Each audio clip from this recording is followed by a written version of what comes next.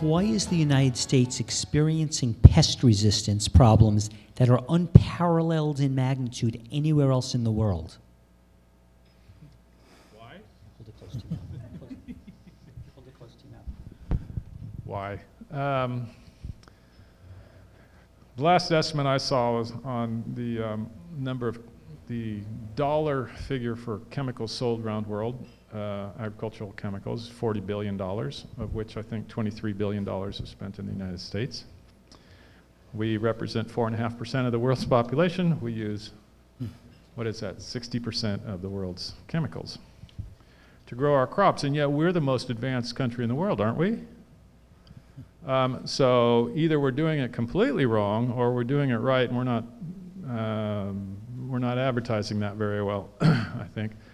Um, we have taken, and, and I'm sure there's going to be some support for this statement, we have taken the path toward food production of intensification, uh, and we have not looked back in the last 70 years or so. We are going to try to increase production, uh, take over control of food production from nature, and turn it into a system, a process uh, in which we manage all of the variables, right? Um, and if in so doing it requires untold amounts of fertilizers and, and pesticides to do that, then that may just be the cost of doing business. Unfortunately, it's absolutely a dead end. Uh, it's unsustainable. It's doing incredible damage to our environment. It's even damaging the actual the basis for food production itself, which is soil, uh, to the point where soil is often not really alive anymore. And then that process has forced us into the greenhouse and into hydroponics and into as many other ways as we can think of to grow a plant without relying on nature. And so why we are so dependent on chemicals um, in this country and for our agricultural system is because we have taken a headlong dash into the world of technological marvelousness, and we are going to do it that way um, with more or less complete regard for all traditional systems and for the evolutionary biology of plants themselves and for um, any sort of recognition of how ecosystems actually work to produce biomass in this world.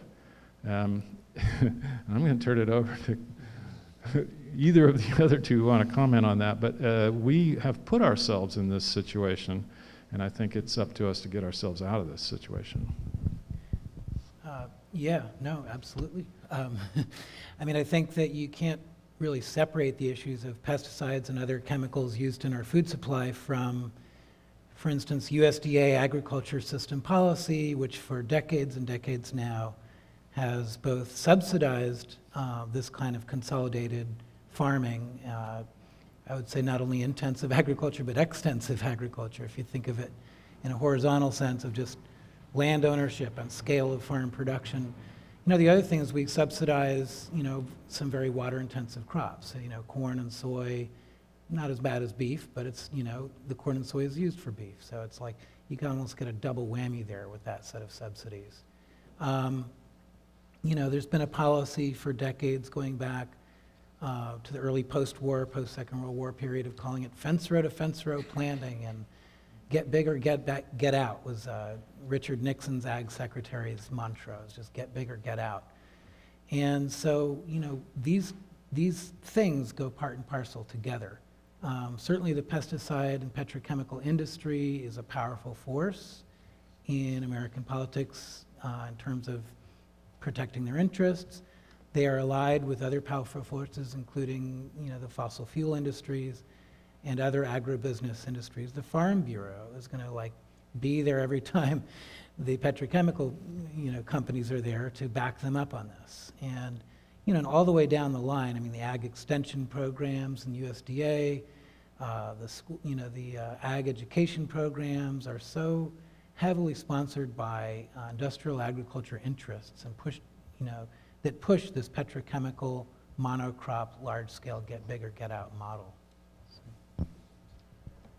Yeah, it's called uh, industrial agriculture for a reason because the whole mindset is uh, machines. We are putting green machines into this green dirt, or machine dirt that holds up the plant. And then we just put machine parts to make it do whatever we want it to do.